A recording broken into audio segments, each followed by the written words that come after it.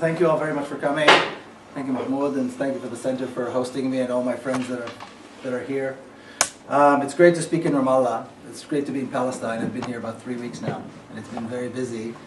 Uh, but probably the highlight of my trip, of this visit, had to be uh, driving yesterday with some people from Nabi Saleh to Ain Hijla, where, as I'm sure many of you know, they uh, this, this, this old uh, old city outside of Jericho has been occupied by Palestinians, as well it deserves to be.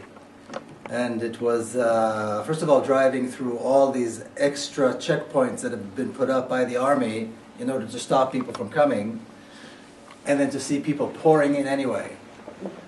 I was there, we drove from Nabi Saleh, we got there sometime in the afternoon, there was still a lot of police and army, we managed to get in, and then more people came and more people came. When we arrived, there were probably three or four hundred people there. I stayed till midnight, and then I snuck out and drove to Jerusalem.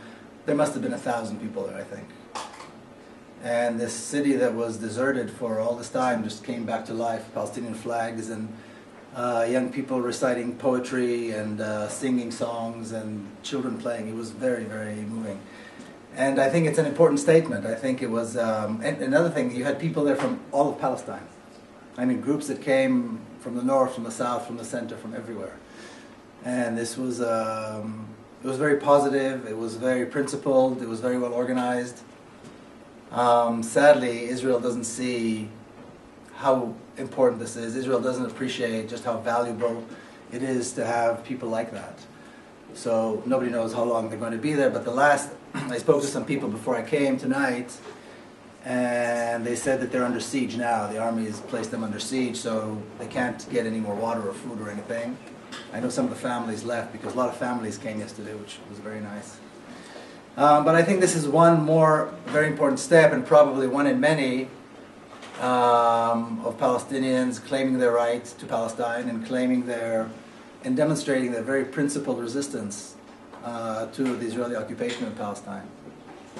And I think it's, I think one of the one of the things that people find sometimes confusing about this issue is that it's really not clear what this issue is about and how to go about resolving it. And um, let's see, I'll use this. And I think I think I think one important question is is Israel is are are Israel and Palestine two countries or one?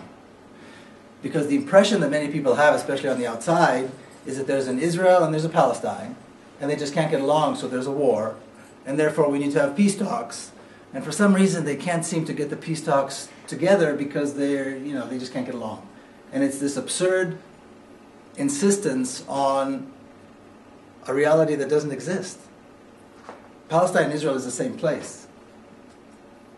The conflict here is not about two countries at war, and the solution is not about is not about is not going to come about through a peace agreement. The, uh, the country is occupied and colonized, and you've got one side who is the colonizer, the oppressor, and it's a fight for freedom. And once people come to terms with that, they'll begin to understand that all this nonsense about peace talks has got nothing to do with the issue because it's not a question of two countries at war. It's a question of one country that is imposing its will on another nation. And hopefully, and I think, see, you know, living in the U.S. as I do, I see some change in people realizing that Zionism needs to be treated just like apartheid was treated in South Africa. And the conversation needs to be about the struggle against Zionism and ending Zionism so that there will no longer be oppression. There will be a real, there will be an ability for people to live here like normal people as equals. Um, just like apartheid had to go before there was a chance for equality in South Africa. So I think this is a very, very important change that has to take place. And I think it's important to say these things, although for some people find it very difficult. And again, being in a French-German center, 75 years ago, if somebody would have suggested that there would be a French-German center, you know, people would have thought you're crazy. And here we are today taking it for granted. Oh, yes, it's a French-German center. Of course, why not? So I think um, not just imagining, but understanding that a Israeli-Palestinian reality, an Israeli-Palestinian uh, joint reality, living together as normal people do, um, is certainly within our reach and certainly uh, something that we need to treat as, as a reality that's about to unfold. Um, now, course, many people understand that there is a um, there's a serious disagreement between the two sides on the origins of the conflict. And this disagreement, as I'm sure many of you know, is not on small details, but it's about the very essence of the beginning of the conflict.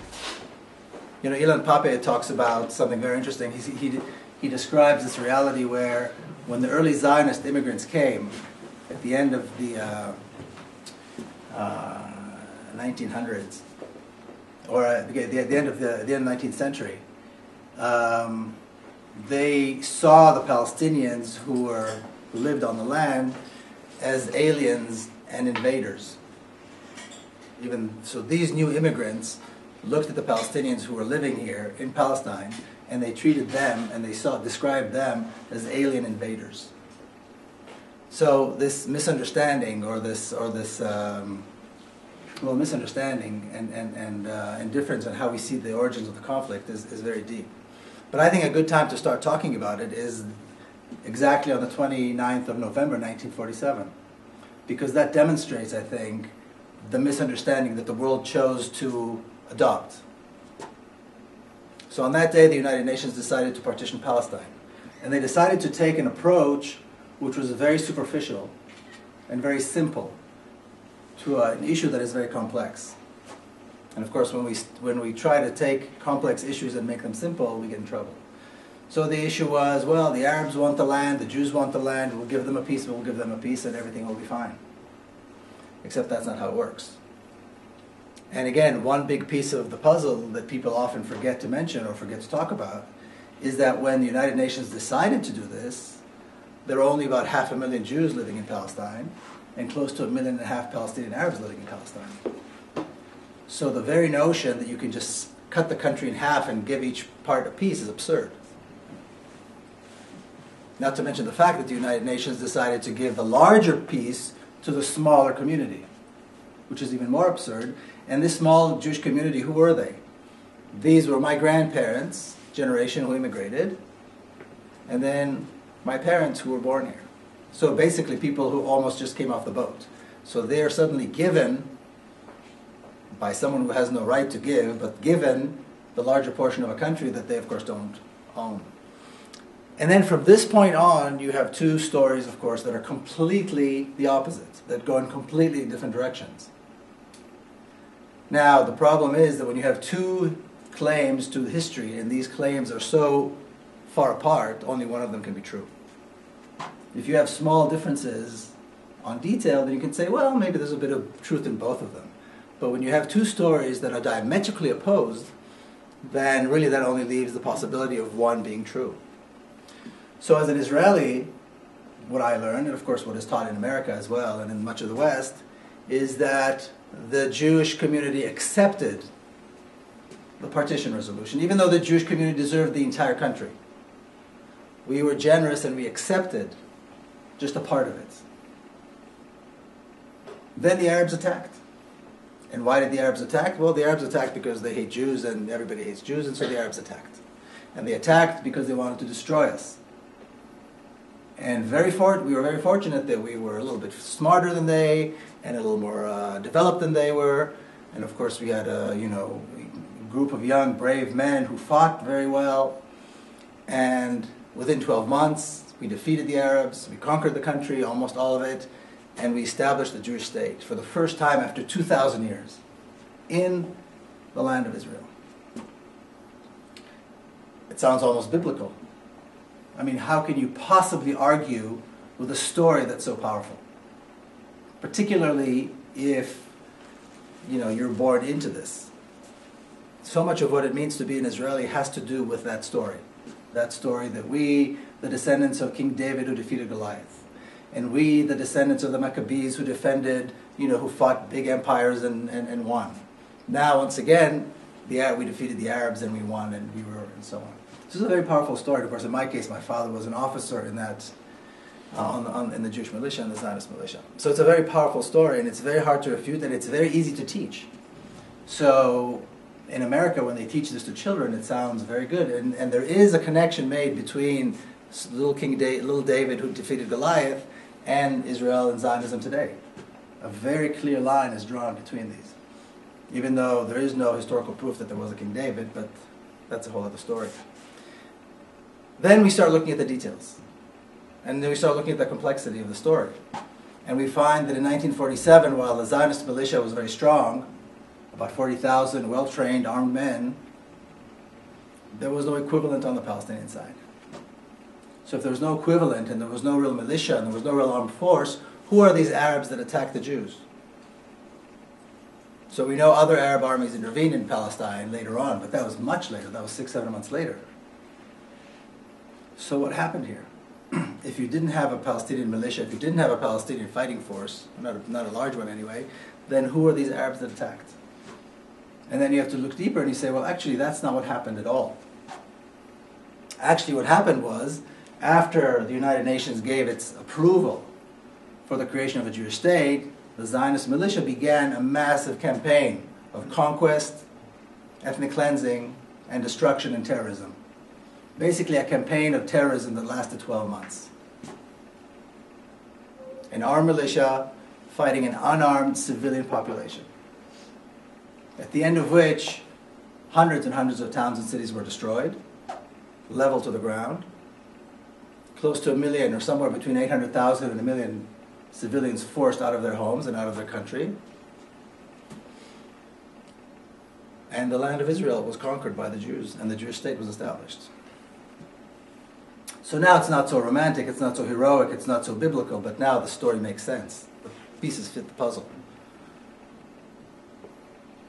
But I think this is such a, a there's such a big difference between these two stories that when you come from the Israeli side and you try to see the other side, it's absolutely absurd. It makes it's a very, very difficult process.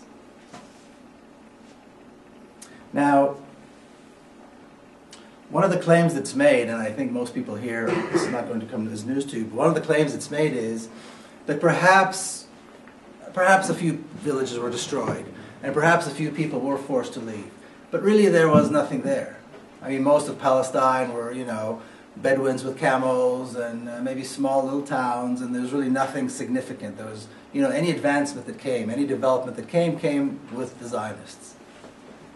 So I like to show this picture of the city of Jaffa before 1948.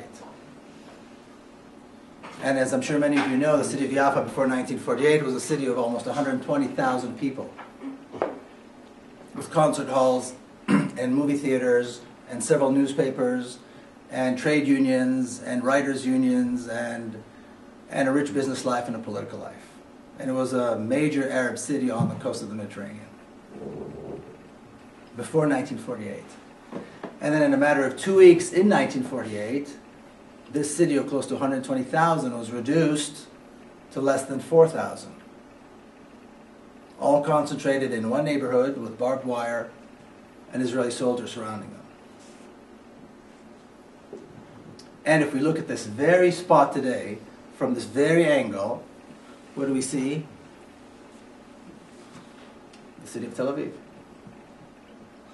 So Jaffa was a large Arab city with a, with a, with a Jewish neighborhood, with some Jewish presence, and of course Tel Aviv is a major Israeli city with a very small but very neglected and oppressed Palestinian community that's very much alive, but is very much uh, forced to live under, under very difficult conditions.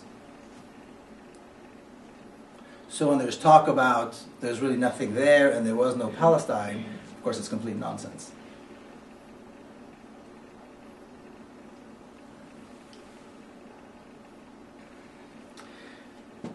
Now, one of the things I like to tell my Palestinian friends is the first time I heard the word Nakba, or the idea that 1948 was called a Nakba, I was, I was insulted. 1948 uh, for Israelis is, like I said, it's almost biblical. It's almost miraculous. The revival of the Jewish people and the creation of the Jewish state in the, in the land of Israel and so on. and somebody could call it a catastrophe. This is, this is a gap that's hard to bridge, that's, that's really difficult to bridge. And then I began learning and understanding why it is called a Nakba and why it was a Nakba, why it was a catastrophe. But I think now what's important to stress is that the catastrophe, the Nakba, didn't happen in 1948. It was a process that began in 1948 and goes on today. So for the last almost seven decades, there has been a process of destruction, catastrophic destruction, that continues to this very day and over 4 million refugees living in refugee camps is certainly a sign of that. And I took this picture just last January. And these children probably live an hour, two hour drive from major cities here in Israel, in Palestine, where you wouldn't dream of seeing children like this, where you wouldn't dream of seeing people live without water, electricity, sewage, access to health care, you know, we think of big things, but you know, what does it mean to have access to health care when a child has an ear infection and you can't find a doctor? There's no antibiotics. You don't have to think any farther than that.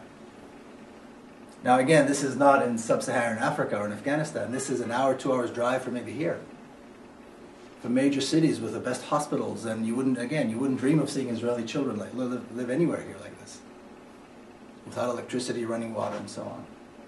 So this is the catastrophe. The catastrophe is that even today, even under our watch, this continues. This continues. And again, it's so close to places, probably the very places where their grandparents had to were forced to leave. And every time people start thinking about, you know, uh, any kind of uh, equivalence between the two sides, I think this is a picture that has to come up why is this being allowed? Why, Palestinian, why do Palestinian children have to live like this? And grow up like this?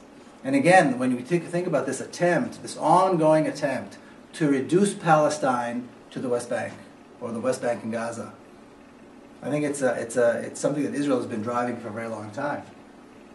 And I think it's important to remind people that you cannot reduce Palestine to the West Bank and Gaza. Because Palestine exists in Jaffa and it exists in the Negev Desert and it exists in the Galilee, and it exists in other places. And any attempt to try and reduce it, of course, will fail, as all the attempts have failed so far. And these children have a right to go home. Their families have a right to go back to the place from which they were, they, they were forced to leave. Now, people often ask, people often ask me, you know, how, when did you start? When did you change? Because I grew up as a very proud, patriotic Zionist. So people often ask, well, how did it begin and so on. And this is a picture of my mother when she was very young. She's probably 22, 23 years old. And, and I talk about this in the book. This is the story that she told me many, many times as I was growing up. And the story has to do with her experience in 1948. Now, she was born and raised in Jerusalem. She's 87 years old now. She still lives in Jerusalem. And the story was that in 1948, when the Zionist forces came and took the neighborhoods. Now I'm talking about not the old city of Jerusalem, I'm talking about the neighborhoods outside of the old city of Jerusalem. Um, in the neighborhoods in the side of Jerusalem that became Israel. And the Zionist forces took these neighborhoods, they forced the Palestinians out, and the homes were available, became available, and they were made available to Israeli families. And Israeli families were offered these homes. And my mother was offered one of these homes. She was living in a small apartment with her mother with her parents. And she was already a mother herself. And the way she tells the story, the way she, the emotion that she expresses every time she tells a story, even when we talk about this today, is the exact same emotion. How could I possibly take the home of another family? How can I possibly move into the home of another mother? And then she always describes that when the soldiers came in, the coffee was still warm on the table. And then they brought the trucks and they started the looting because these are, if you know the homes in these neighborhoods, I'm sure some of you do, these are beautiful homes. These are well-to-do families. So the rugs and the furniture was all taken, and and there's a, a documentary that came out maybe a year ago about the books that were stolen. The Zionist forces had a unit of librarians that followed the forces from house to house and stole rare books that are now at the Hebrew University, in the, in the library. They were that organized. So anyway, so she went on to describe the story and how she refused to take the home and so on. And it's a wonderful story, but there was something about the story that bothered me for many, many years. In fact, until I wrote the book, I couldn't quite come to terms with what it was that was bothering me about the story. There was some there was a problem with the story. And as I was working on the book, I realized the problem with the story is that it contradicts the national narrative. The Zionist narrative is perfect, it's impeccable, it is morally perfect. We deserve the entire country, but we agreed to take less. We were attacked, and thankfully we were victorious. We asked the Palestinians to stay, and they left, which is a big part of the story. We asked them to stay, and they left anyway. So we have no responsibility towards the fact that there are refugees out there. Now, if all of this is true, if all of this is true, then there's no moral dilemma with taking the house. If people left on their own and left the house, well, and there's a family that needs a home, there's no moral dilemma here. And why was she? She was presenting a moral dilemma, which of course took me a very long time to understand. And in fact, talking about the, the, the, the Zionist narrative is so perfect morally that even when the Zionists do admit to committing atrocities, there's somehow a happy ending. So I remember as a child learning about Yassin, the massacre of Yassin. If you don't know, it was a village on the outskirts of Jerusalem. They surrendered. The forces came in and committed a terrible massacre. So we learned that it was a terrible thing because you know women and children and civilians were killed. At the same time, as a result of the Yassin massacre, hundreds of thousands of Arabs left, which allowed us to create a Jewish majority. And we all know, and again, we, I mean Israeli children, we all know that there's really nothing more important than creating a Jewish majority in Israel. So even though there was a terrible thing that happened, there was somehow a good outcome. So if we bombard Gaza and we kill civilians, we do it because, well, Hamas is a threat. And so there's a good thing because now our towns and our cities are safer, and so on and so on. So the, the Zionist narrative is always perfect morally. And again, she was poking holes at this narrative, which as a child I remember was a very difficult thing for me to understand.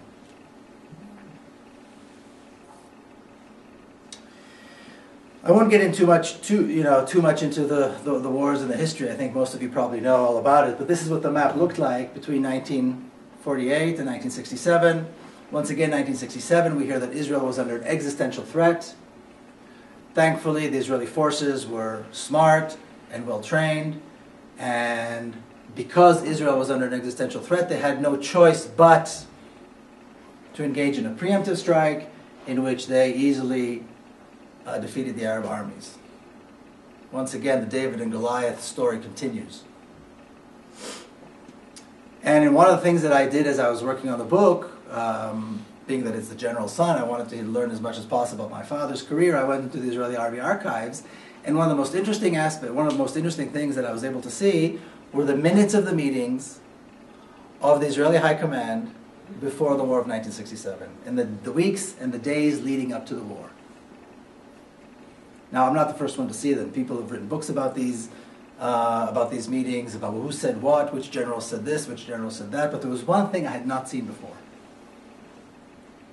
and it's something that my father says and the other generals repeat,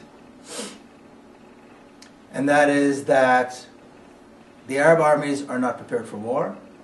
We therefore have an opportunity now to attack and destroy the Arab armies, particularly the Egyptian army, because the other Arab, Arab armies were even less prepared than the Egyptians. Well, this is news. So what about the existential threat? What about the existential threat? Not a single word about a threat. Never mind an existential threat. Not a single word about a threat. They talk about an opportunity and how to push the Israeli cabinet to finally give them the approval to engage in a preemptive strike. That's all they talked about. Then, after the war was over, they congratulated themselves for what they called finishing the job. Particularly when it comes to Palestine. I mean, they conquered areas outside of Palestine, particularly in Palestine, everything in the West Bank. They finished the job of 1948 they finished the conquest of Palestine, of the land of Israel.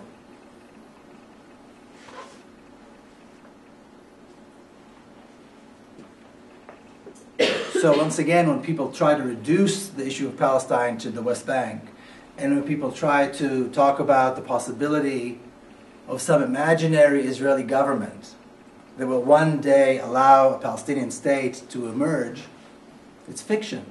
It's mythology. It's trying to believe in something that didn't exist ever and will never exist. Because the basic idea of Zionism is that the land belongs to the Jews and this idea was executed very well by the Israeli army between 1948 and 1967. And in 1967, they finished the job. They conquered it all. They wanted the water, they wanted the land, they wanted the cities, they wanted it all. And as far as they're concerned, the job is complete. In fact, what they did was they created a single state over all of Palestine, which is what they wanted to do to begin with, with exclusive rights for Jewish people. The ridiculous thing is that they call it a Jewish state. Why is it ridiculous? Most Jews don't live here and never will. Half the people who do live here, in fact, more than half of the people who do live here are not Jewish. According to statistics that came out of the, the Israeli Prime Minister's office, out of 12 million people here, 5.9 are Israeli Jews. Well, do the math. So not only most Jews not live here, half the population, or more than half, are not Jewish. So how is this exactly a Jewish state? Again, it's this mythology, it's this, it's this fictional idea of an existence that really is not, is not real. And any attempts to try to, to, to, to develop an idea that somehow there will be one day a liberal Israeli prime minister who will allow the Palestinians to establish a state in the West Bank or anywhere in Palestine is absolutely absurd. And it contradicts everything we've seen over the last seven decades, particularly since Oslo and particular since Oslo. And I think, again, it's important to come to terms with that. But the reason there is no peace is because Israel doesn't want peace. Israel is, doesn't want peace because Israel thinks there's no problem. The only way to move forward beyond the, the reality that exists today is to fight Zionism and end Zionism like apartheid was ended. Which, again, for some people is a very hard thing to say.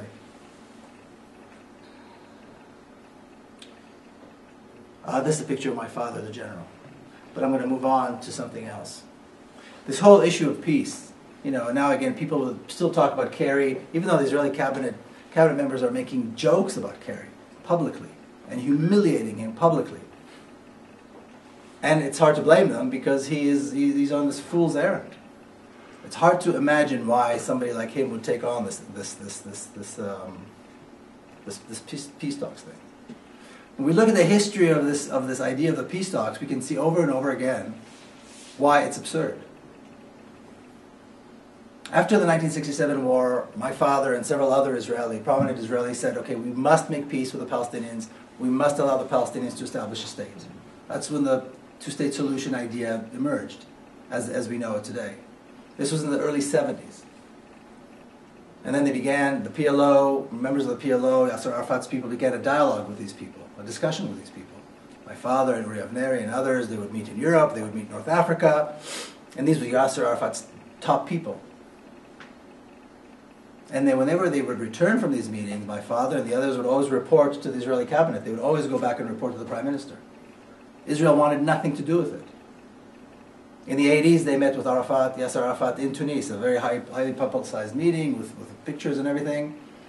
Shortly after that, the Israeli cabinet approved a law that made it illegal for these meetings to continue. This was a law that was initiated by Shimon Peres, by the way, that made it illegal for these talks to continue. Of course, they said, arrest us, we're not going to stop. And then suddenly 1993 came around, uh, came around and we had peace talks. And we had Oslo. And Yitzhak Rabin, who really should have been put on trial in The Hague for his war crimes, was now signing this peace deal with Yasser Arafat. And many people thought the world was changing because apartheid was falling, the Berlin Wall was falling, the Soviet Union was falling. Everybody, many people thought, you know, this was maybe the beginning of something.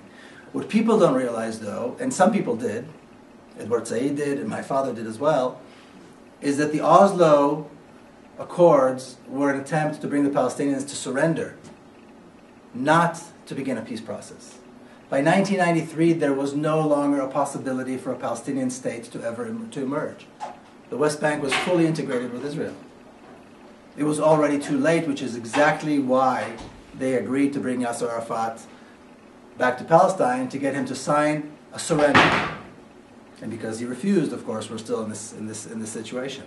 And then in the year 2000, they tried again with Bill Clinton and Camp, the second in the Camp David um, summit. And they came out, you know, many people thought, this is the end, this is really it, they're going to sign the deal, they're going to sign the deal. And they came out. And Bill Clinton said, well, Palestinians gave some, but the Israelis gave more. In other words, the Palestinians were accused of not making concessions. The Palestinians who agreed to give up 80% of their homeland, agreed to give up the right of return, agreed to recognize the very state that destroyed Palestine and made peace with this very state, they were accused of not making concessions. And everybody bought this. When in fact, the Palestinian stance was probably the most consistent stance for peace. Yasser Arafat was probably the most consistent voice for peace between the mid 1970s and, and, when he died in, in 2004, for 30 years. The idea of the two state solution is something he agreed to as long as it is the full West Bank with East Jerusalem, without settlements, and Gaza, of course. Well, Israel's not interested. It wasn't interested, it's still not interested, and that's why it's falling apart. That's why there's no chance, that's why it's not happening. Um, another issue that I think has to be talked about when we talk about Palestine, again, for many of you, I know this is an issue that uh, you know a lot about, uh, is the issue of the Palestinian prisoners and the issue of the Palestinian resistance. You cannot have a serious discussion on the issue of Palestine without talking about the Palestinian prisoners. In case there's anybody here who doesn't know, you'd be hard. You, it's almost impossible to meet Palestinian or to talk to anybody a Palestinian without either he or she having been in prison or a loved one has either is or has been in prison. And of course, Israel calls them terrorists. And I think it's important to see two things in, in that light.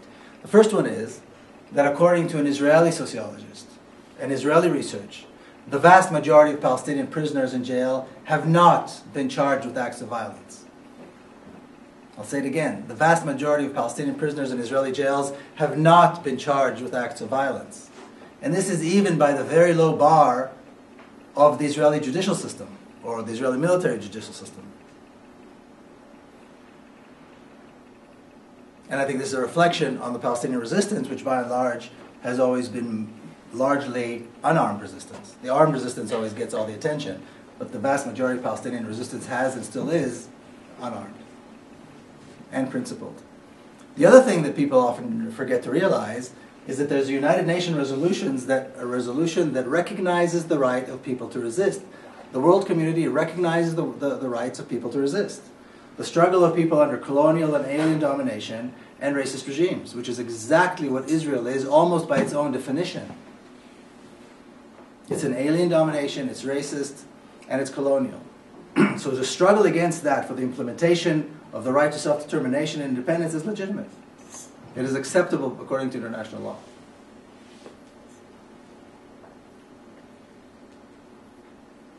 So again, when we talk about Palestinian resistance, we're talking about the right of people to fight for their freedom. And in the context of what I said earlier, the whole idea of peace talks in order to resolve this issue is absurd. What is required here is a, is is a focused, concentrated effort to topple the oppressive regime that exists here, the non democratic oppressive regime, which is what Zionism is. Just like the world stood behind the fight against apartheid, the world needs to stand behind the fight against Zionism in order to create a real democracy here. And of course, the, the,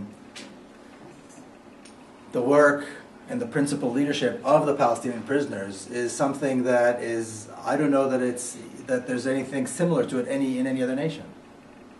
And I talk about it. I was very fortunate. I've got some great friends who are former prisoners. and the work that they've done and the process that they went through in the prisons and the entire prisoners movement. I talk about it quite about quite a bit in my book because I was, I think, privileged to meet some of these wonderful, principled people. Who again are imprisoned not because they're criminals; they're imprisoned because they are principled leaders of a resistance movement.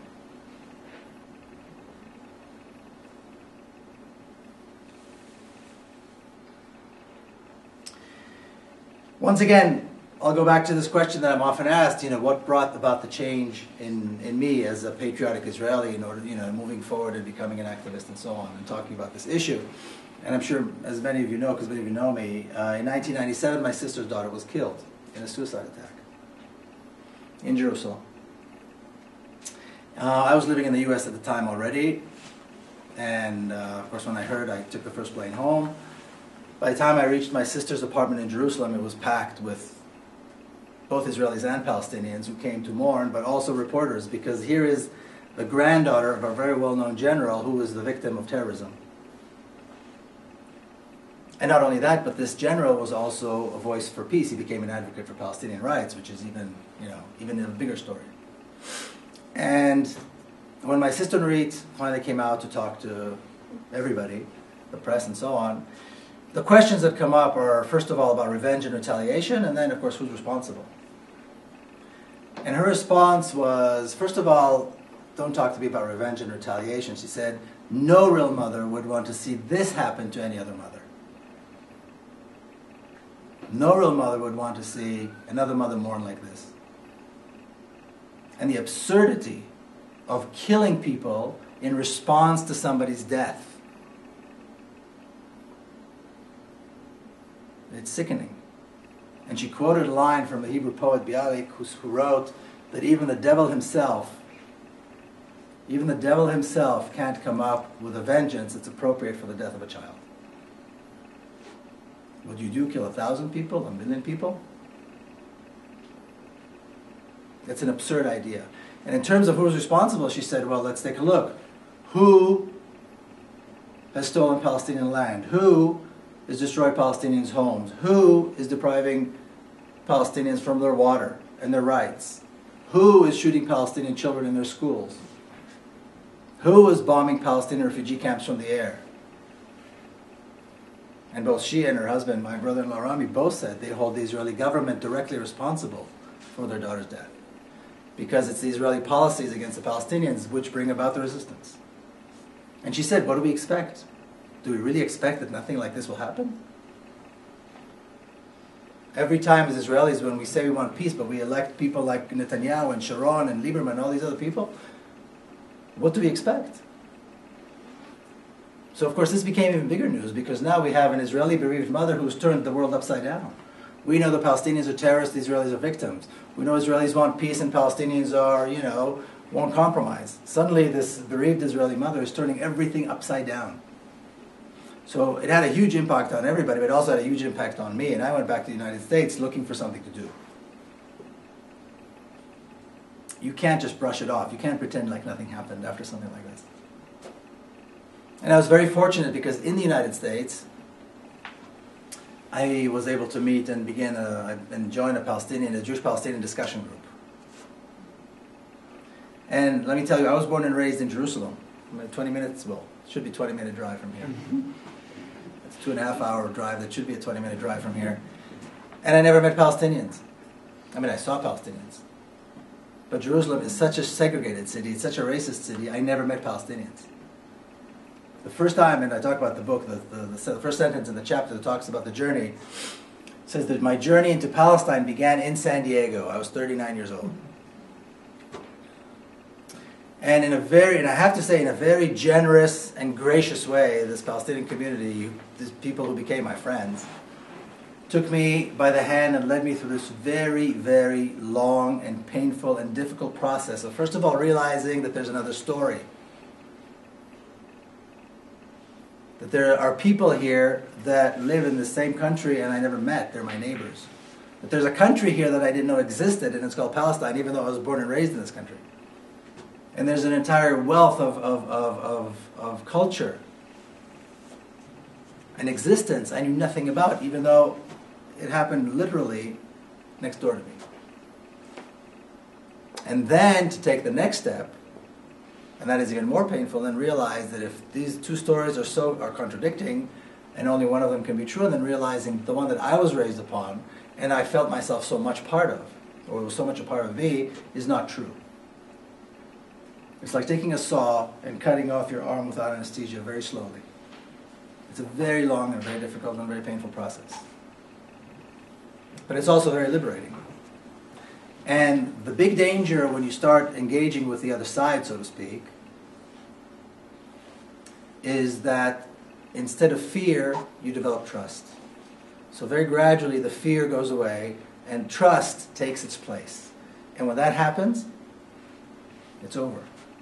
That's why I say it's a very dangerous thing because the walls come down, the differences disappear. And all you see is people that you care for, that you trust, that you can live with, that you can work with, that you become your friends. And when the fear disappears and the trust takes over, then, like I said, it could be a very dangerous thing. That's why we have a wall. That's why at every checkpoint there's a massive sign that warns Israelis that if they cross or if they keep driving along this route, this, uh, this road, first of all, it's a felony, but it's also life threatening. I don't know how many times I've, cro- I've, I've crossed those signs, and every time I cross it, and nothing happens You cross it again, and nothing happens. Nobody even seems to mind that I or care that I'm here or that I'm there. You know, but that's the process. You need the soldiers, you need the wall, you need the signs to keep the fear.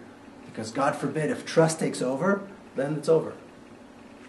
Then there's no reason to have this mythical, really strange idea of a Jewish state. then you can have a democracy. Then you can have equal rights. Then you can Palestinians can have just as much water as Israelis and just the same rights and so on. You can have a Palestinian prime minister and it's not going to be the end of the world.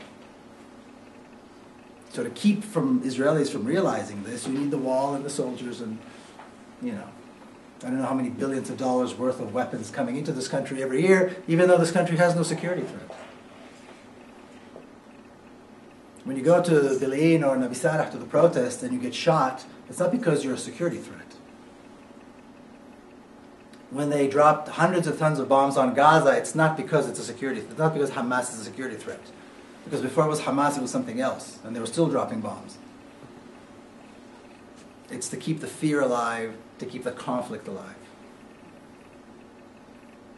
It's a, it's a very racist, very militant ideology that governs, that runs, that fuels Zionism, which is why, of course, we have to end it. And then, of course, the million dollar question, which I think is a very simple, has a very simple answer. Do we continue and allow this one state that Israel uh, created here that has exclusive rights for Jewish people? Or do we fight, str- or struggle to transform it into a real democracy with equal rights? So it's not one state or two states. It's one state, except will it be a democracy or not, is the question. The question one state, two state is an absurd question. It's assuming that there could be one day an Israeli government that will allow the Palestinians to establish a state on the land of Israel. It's an impossibility logically. How could you allow a Palestinian state on the land of Israel when you believe this is the land of Israel, the land of the Jews? You have to get rid of the ideology, you have to get rid of the, of the, of the racist uh, state, and then establish a real democracy.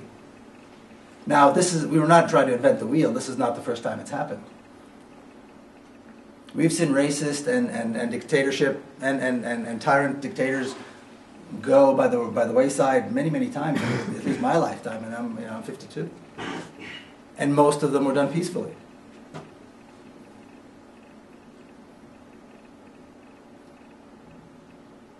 So to assume that it's either this reality that exists today or some mythical reality where Israel will allow the Palestinians their own state is, is, is, is, is it's, it's no wonder there's such little, so little hope here.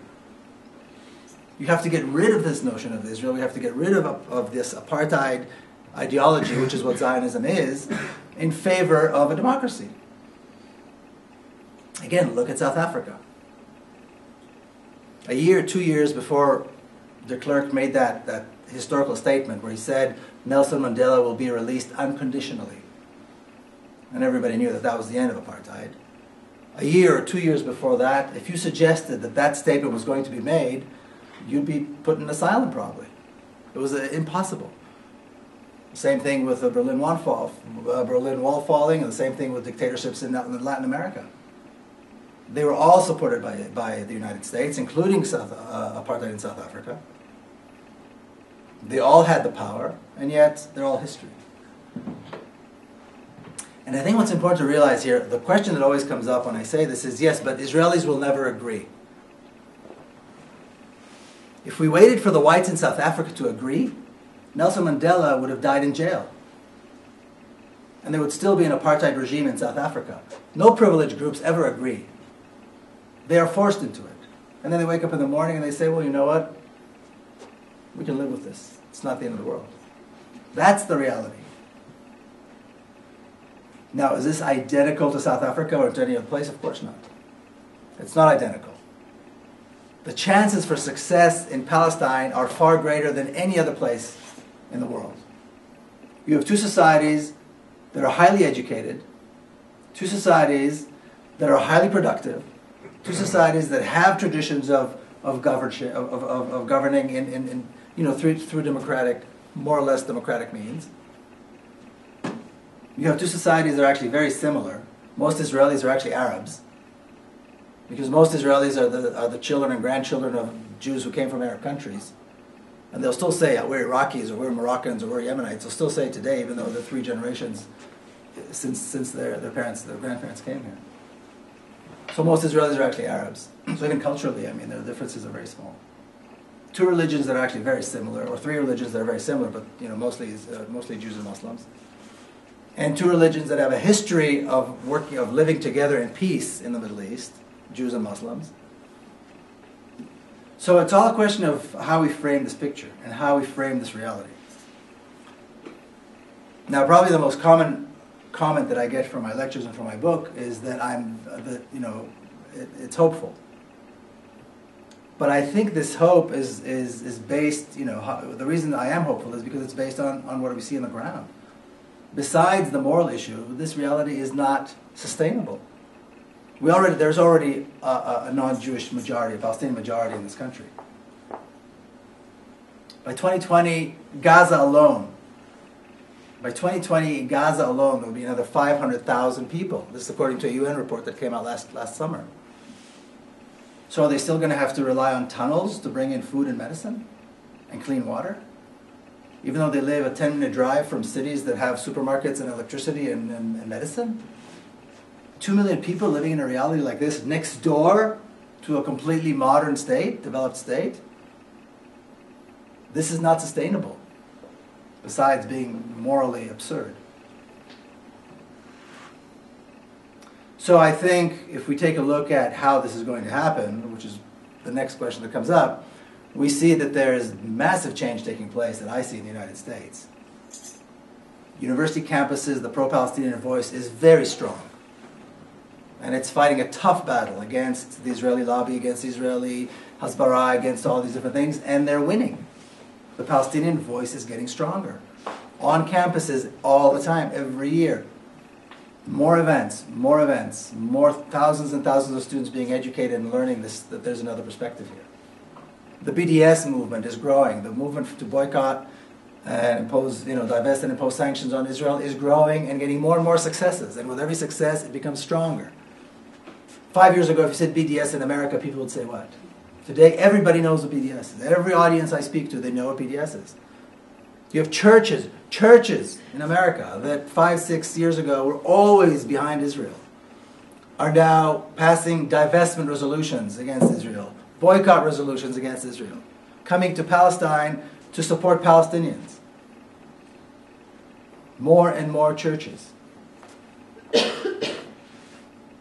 And of course, here we see that there's a what I think is probably an uh, unprecedented in terms of its uh, of how principled is the resistance here in Palestine. The popular resistance in Palestine. It's principled, it's dedicated, and all of these three aspects the BDS, the, the, the, the movements in, in the United States, and the popular resistance here, like we see now in, in, uh, in Al is never giving up and is undefeatable. Doesn't matter how many nuclear weapons Israel has, this is not a battle they can win.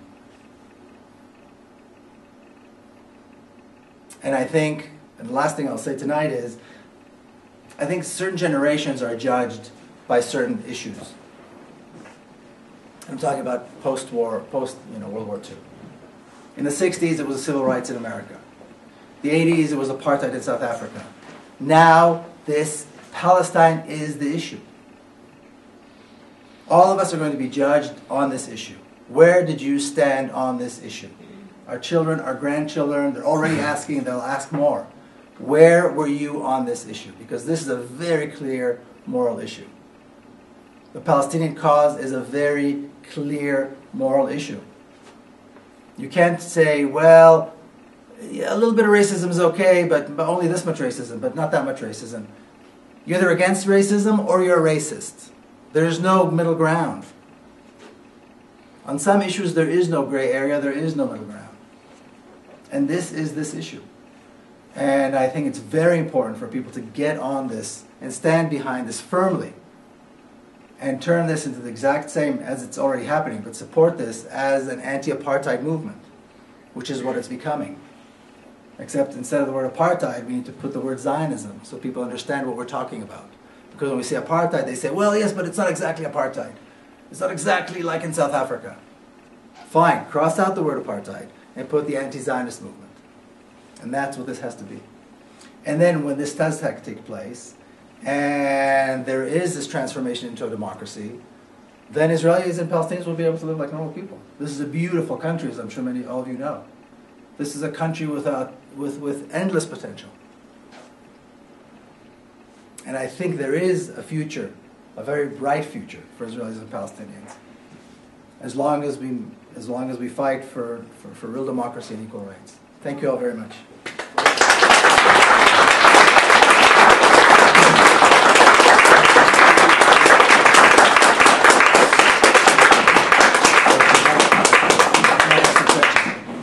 Thank you, thank Mikos. Uh, very nice to end in a very hopeful note. I'm sure we have uh, questions from the audience. Thank you very much for this wonderful presentation. Thank you. And uh, being born in Jaffa myself, I was glad to see Jaffa. Uh, the, my question is, of course, uh, uh, I, I commend you for, for your stand, for the way you have changed, for the courage you have taken to take the step. My question is, are you being able to have a dent in your own uh, community in, in Israel? And how are you able to do it?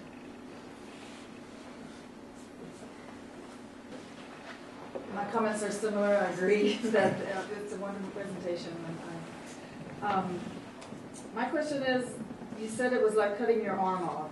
It was a slow process. And then when you talked about the hope, you mentioned the Americans, the American religious society, you know, the churches, which is great. I'm happy. But again, I'm asking, um, what hope do you see with the young Israeli um, upcoming adults? Is our teachers teaching anything in schools, for example, um, young children? I'm very glad that I'm here tonight, and I'm very glad to meet you. Thank you. Actually, I get a message from California to come here, oh, Was that right? from a friend in California. okay. And I'm very glad that we stopped on this slide. Number one would take place, which is one state with exclusive rights for Jewish people. How long do you think that will last? And if we do have, and I don't think that we can ever have one democratic state with equal rights. I don't know how you can see it. And if you don't mind, uh, it just happened because I was in a meeting with some friends in Tel Aviv a week ago. and we were discussing. Of course, we breathe politics anyway. And I was shocked by a statement of one of the Israelis that, and we were talking about the Jewish state, which Netanyahu is asking for. And I said, well, we probably can convince Abu Mazen to agree on a Jewish state. If you agree to have Palestine as an Islamic state, and his answer was really shocking to me. He said, no, we Jews are a race. It's not a religion. Now, two minutes ago, you said Jews and Muslims, if you notice yourself, right? I was shocked when I heard that. So, and he's a very, very good friend to Netanyahu, by the way, who said that. He said, we are a race. So I asked him what my race is, and he said, you're an Arab. And these people are very close to Netanyahu, consultants of him, or for him. And they're thinking this way. Well, if you want to go pre-biblical way of thinking, then we are Canaans, aren't we? So give me the Canaan country that goes up to Damascus, right? As a map. Well, anyway, I, So let me ask you just, maybe if you could just add one more thing. Why do you think uh, democracy is impossible? that could be a hard answer for you as, as, as an Israeli.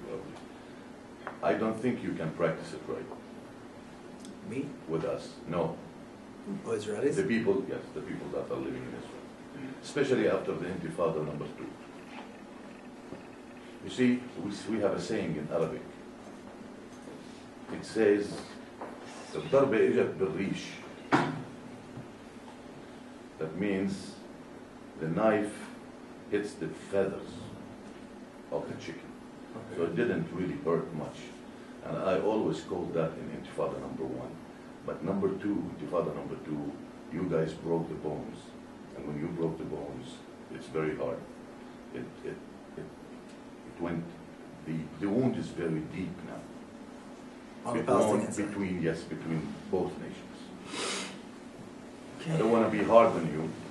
No, go right ahead. I'm, I'm fine with it. Okay.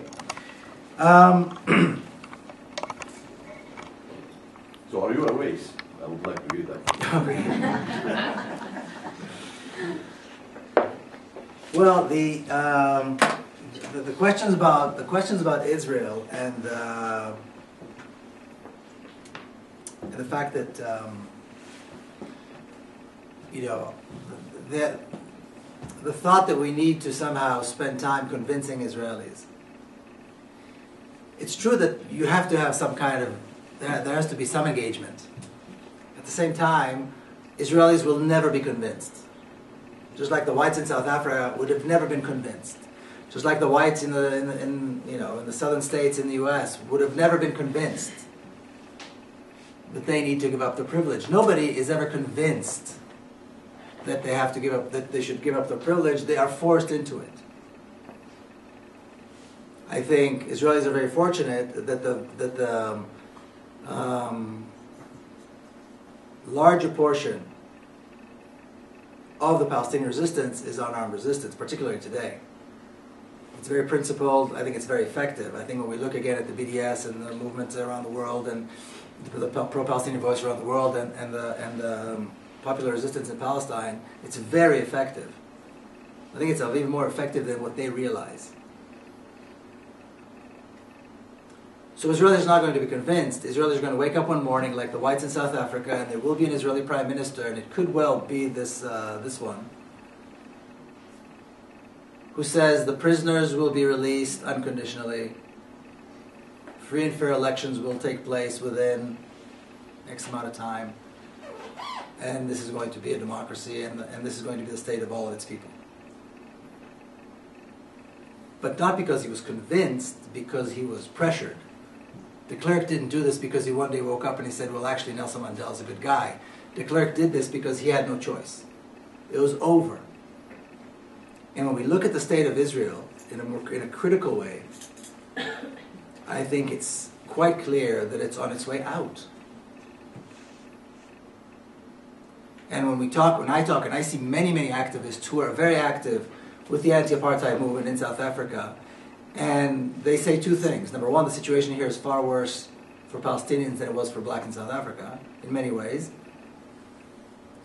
And the second thing is that it's changing and moving towards it, towards its end much more rapidly than apartheid did in South Africa. In other words, the effects of the BDS and so on are much more um, effective now than they were uh, against South Africa. So again, this is now what Israelis are learning in school. Israelis are learning. You know, my sister just came out with a book about. It actually came out about the same time my book came out. It's called uh, Palestine Israeli School Books. And she and she's an educator. She teaches at the uh, David Yellin uh, Teachers College, part of the Hebrew University. And it demonstrates clearly that the Israeli education system is a racist education system that follows the exact same models as other racist education systems around the world. In other words, it's not racist in nuance. It's not that you have an anecdote here and there that's racist. It is systemically racist. And when we look at how young people vote, look at who they elected. Bennett, Naftali Bennett, uh, this other guy, Lapid, and look at who became prime minister.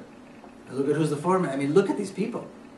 And many young people voted. This is these are the, this is the new generation. So this, I think, I think there's, I think we'd be, we would be, uh, it would be foolish to try to find hope among Israelis. I mean, there are many Israeli activists, wonderful Israeli activists. Don't get me wrong, but that's not where it's coming from. It's going to come as a result of the Palestinian persistence and as a result of pressure from the outside, and that's how it's going to happen. You know, Israelis do not want to hear anything that is outside of the Zionist parameter. They don't want to hear, they want to discuss anything that is out, that is anti-Zionist. Well, fine, don't. But one day they will wake up, and there will be an Israeli prime minister who makes that statement, and then there will be elections, and there may well be a Palestinian prime minister, and they may well, and their children may well have to go to school with Palestinian children, and they're going to realize that they're much better off. Not only the Palestinians are going to be better off, but they're going to be better off. Without the wall, without this militant society, uh, without this insane, irrational fear against a, a, a mythic enemy that doesn't exist, a mythic threat that doesn't exist. The only threat to Israel by Palestinians is one of legitimacy, which is why Israel and Netanyahu are jumping up and down wanting to be recognized, recognized, recognized as Jews, Jews, Jews. You know, they jump up and down because they know that the Palestinians, the threat of Gaza and the threat of the Palestinian existence is to the legitimacy of the state of Israel. So this is the issue. In terms of what's possible or not possible, um, and I know that's kind of the second part of your question statement. Who knows what's possible not possible? Well, you know, none of us are prophets, so we'll have to wait and see. But let's meet in ten years and see what happens. But your question was how long? How long I think this can last? I don't think this can last. I don't think this can last more than ten years. I'll give you. I'll give you. here's an example. Okay. I think you all know there are many Palestinian doctors in Israeli hospitals. Israel needs doctors.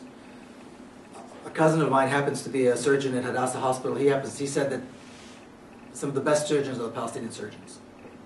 Fair enough. Israel needs doctors. Palestinians are good surgeons. It works.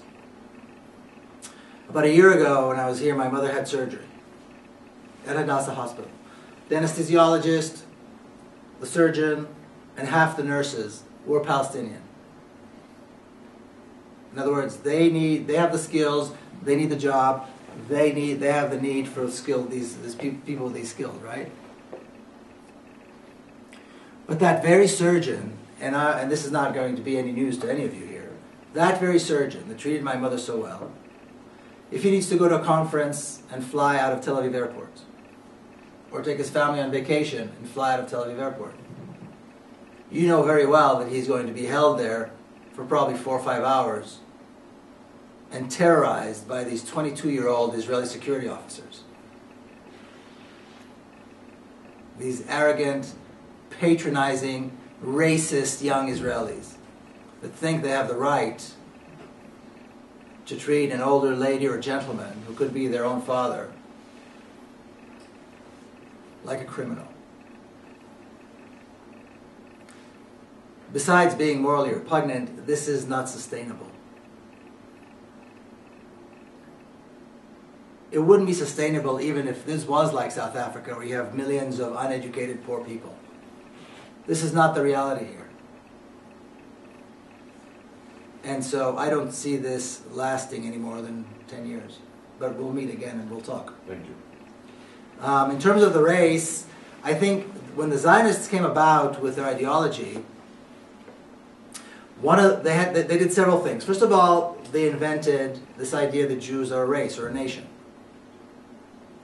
Even though we well know that many of the larger Jewish communities around the world are there as a result of of uh, uh, conversion, not because they are the children of the you know ancient Hebrews. In fact, there's not a single Israeli that can or Jew that can you know trace their roots back to the ancient Hebrews. But this was the Zionist claim that we, the Jews today, are the descendants of the ancient Hebrews. The Bible is our history book. The Old Testament is our history book. So there was a David, there was a Goliath, there was a Samson, there was everything. Even though there is no historical proof at all that any of these things existed. This is all faith based. But they turned it into a history.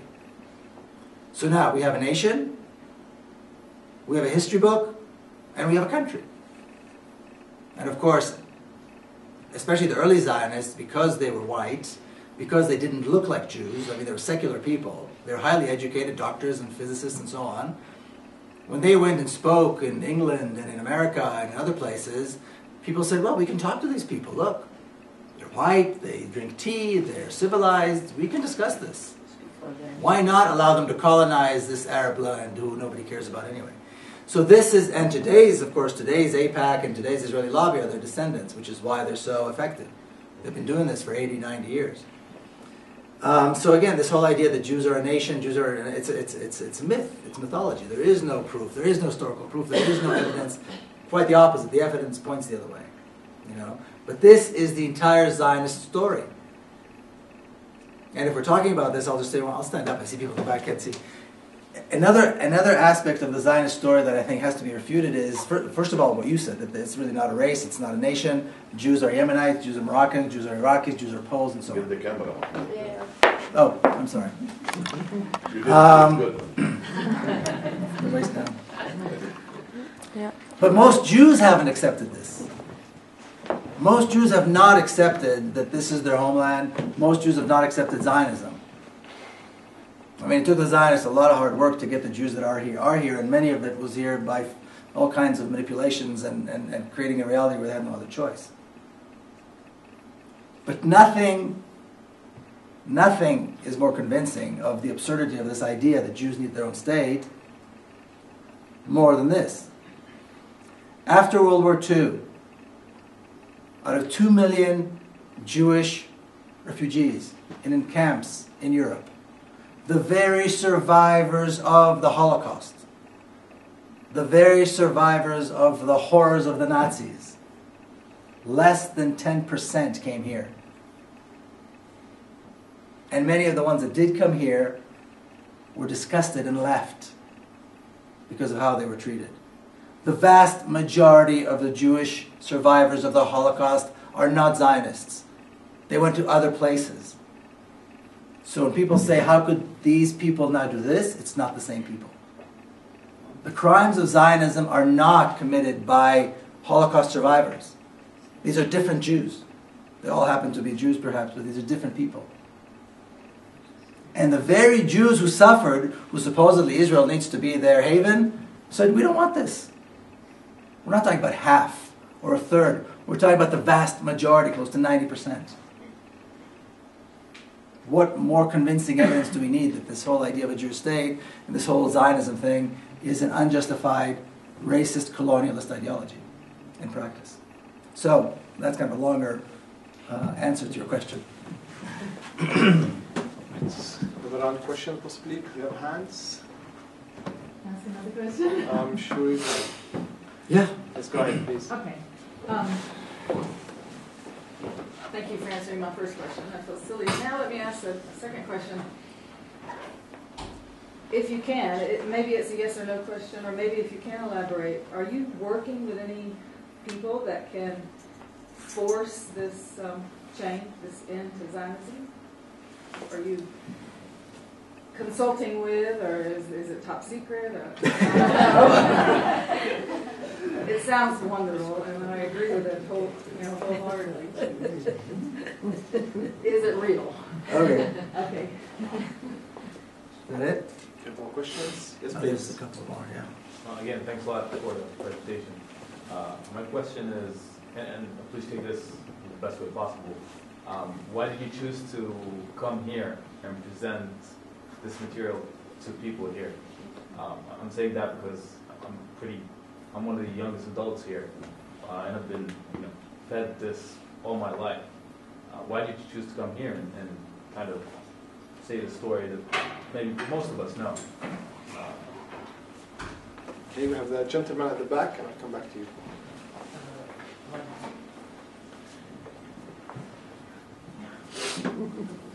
Sorry, can I ask, uh, how can, how do you think Israel can maintain its identity as a Jewish state, considering that the current majority are not Jewish per se, and also most of the immigrants are not Jewish. There's a lot from Ethiopia, a lot from Europe.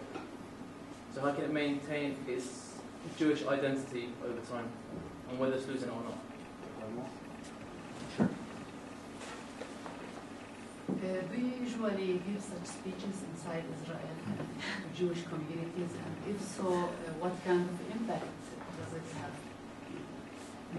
Okay. Okay, tough questions. Um, well, am I working with people? I don't work with any. I mean, I, I am working with people. When you talk about the BDS, you know, then I do everything I can to support the BDS. When we're talking about um, student groups in the United States on campuses, you know, of course I'm working with them. Churches, everybody and anybody.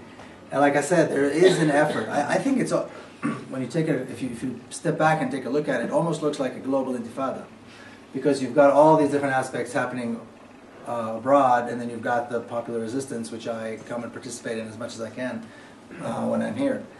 Um, so in that regard, I do. I don't think you know. So in that regard, of course, I do uh, as much as I can. I'm not certainly not the only one. I'm certainly not the most important one. Um, most of the real, you know, I may be a spokesman or anything, or, or if anything, but most of the work is done by others. Others who work very hard on the ground in all of these different areas. So young Palest- young students on campuses, and by the way, in, in the in the uh, peace and justice groups, and the pro-Palestinian groups that I see in the U.S. and Canada, particularly, you see many Jewish participate. Jews participate. So they don't come up and say, "We are Jewish. We are Jewish." They say, "We are. I'm a person, and I support this cause." So they don't have that impact of like a Jewish community. They are just human beings who who see this issue in the right light, and they happen to be Jews. But I see this in a lot of places. That many, many Jews who participate in the pro-Palestinian uh, cause. Um, so they do the work on the ground, and they have to fight with the school administration, and they have to combat all the propaganda from the Israeli pro-Israeli groups, and they fight a really tough fight. And then, of course, they'll build a wall and checkpoints on campus and things like this. Uh, same thing with the churches.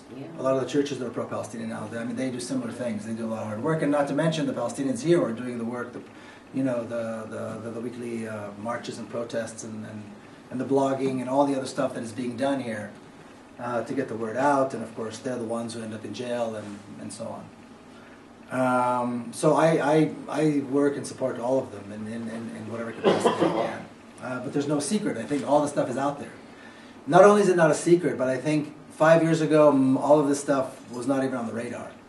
today, and again, I talk mostly about the United States, but um, it's hit a point where it's on the radar screens. So Israel is pouring millions of dollars to fight this, and they're losing. They're spending millions of dollars to combat BDS, millions of dollars to combat the pro-Palestinian movement. They're pouring I don't know how many millions of dollars just to, just with tear gas and, and, and, and bullets to, to fight the nonviolent resistance, the marches, and putting up more signs and more checkpoints. And every time you see there's a new sign warning Israelis about going to the villages, you know, we all know what villages, they don't mention them, but those villages, you know, stuff like that.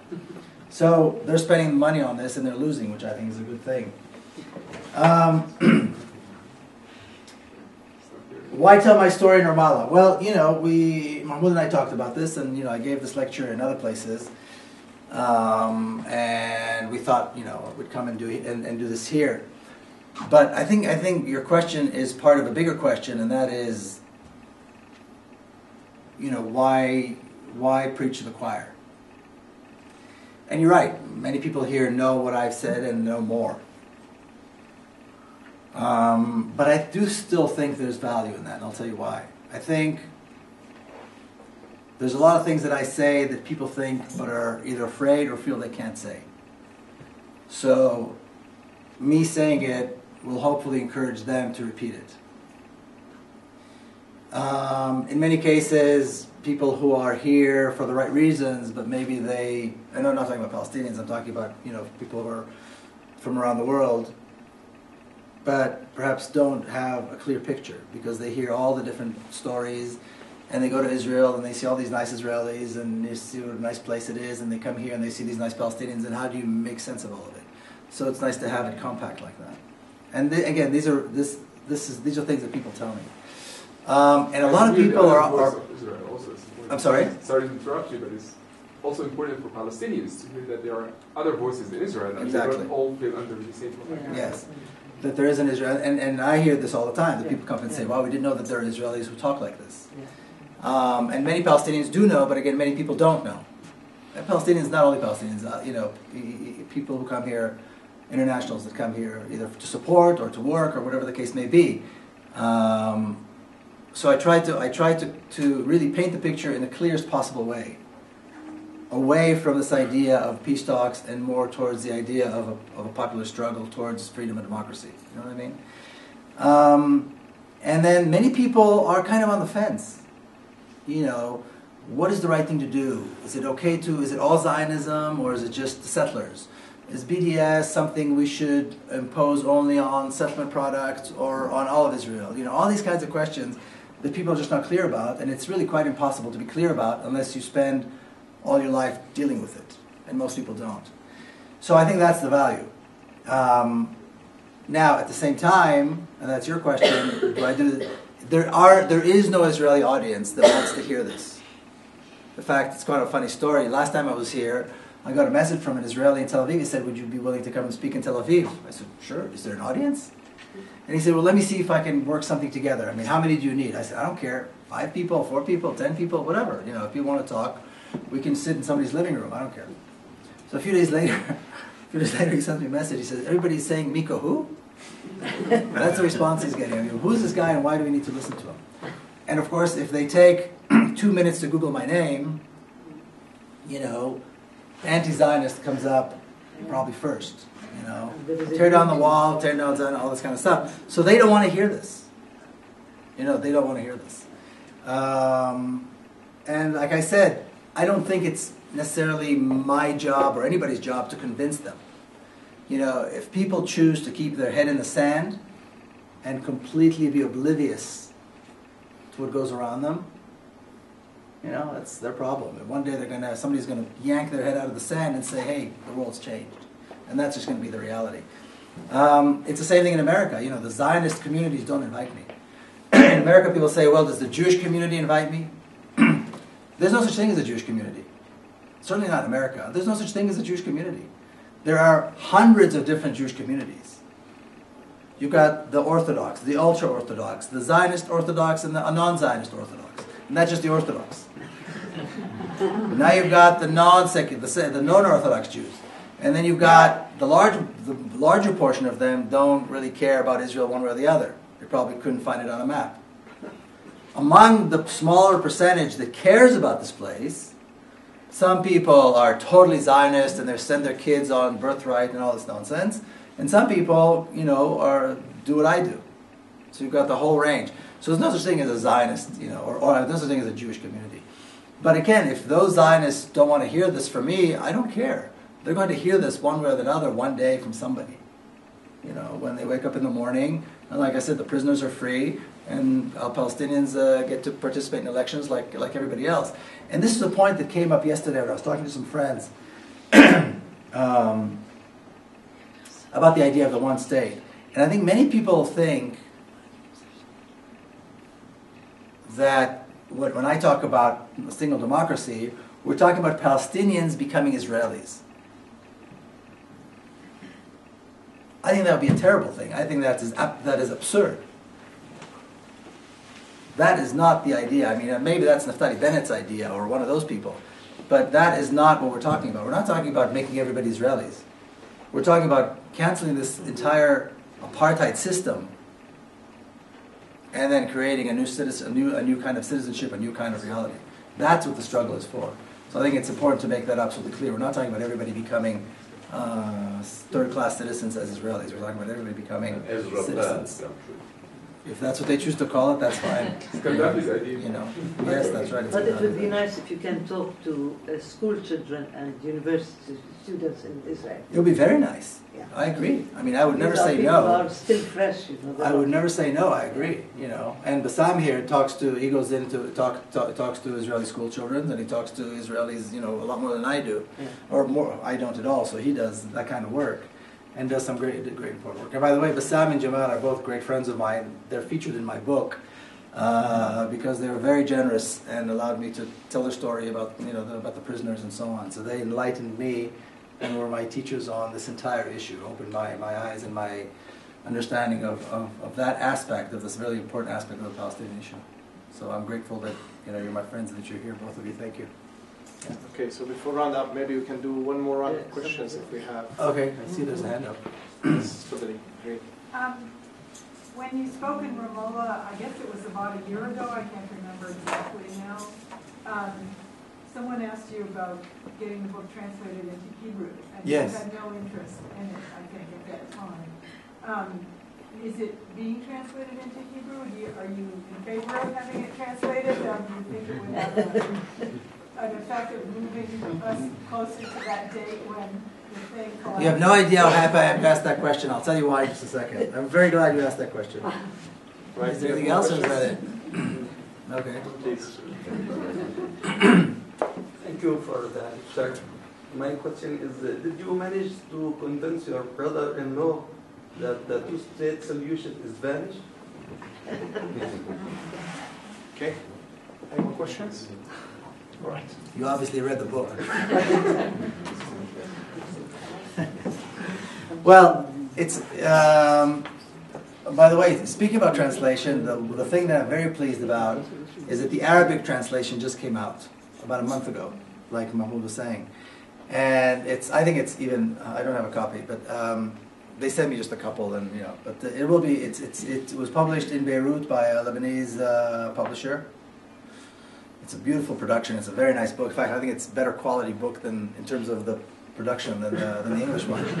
It's a it's a bigger, more anyway. yeah. Well, it's a bigger, you know, kind of a big uh, important publisher. It was translated by a Palestinian uh, from Gaza, Dr. Mahmoud Hithani, who's a friend of mine, and so I'm very pleased about that as well. He did a great job. So it's it's it, will be available, but I think it's already maybe available online.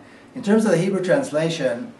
Um, it's not that I'm not interested. I, I'd, I'd be very glad if it was translated. And uh, a good friend of mine here is we're trying to convince her to, to, to translate it because she's a great writer and a great activist. Yeah, so I'm, I'm, I'm pushing her as hard as I can to get started and then and then present it. But of course, the issue is not translating. The issue is getting it published. We can work on and get it translated. So we're in the process of, of, of, of doing that. You know, of, of getting it done. And inshallah, we'll, we'll we'll have a Hebrew translation. Then see what happens. You know, see they'll either burn it or read it. We'll see. um, you know, I don't know if I convinced him or not, but uh, you may have an opportunity. I mean, he speaks all over the place. In fact, he and Bassam speak together, um, quite a lot, and you might you you should you need to ask him that question. It's something that's that's you know I don't want to speak for him, um, but I'm glad you read the book, and I think I, I think the you know the last chapter what we're talking about is the last chapter of the book, which is called One State, Two State, Three States, and that's the conversation between myself, my brother-in-law Rami, about this issue. And it's really a discussion, and it's a true discussion. In other words, I condensed it in one chapter, but these are all things that we actually, you know, it's a conversation we actually have, and we've been having since probably I was 12 years old, um, about this whole idea of Zionism and, and you know, and, and, and the Jewish state and so on and so forth, and, and his reaction to my becoming an anti-Zionist and publishing anti-Zionist point of view and speaking an anti-Zionist point of view. Um, but I'll let you maybe come to a future lecture that he and Bassam, you know, uh, have, and then ask him. I think it'd probably be better. All right, thank you all very much.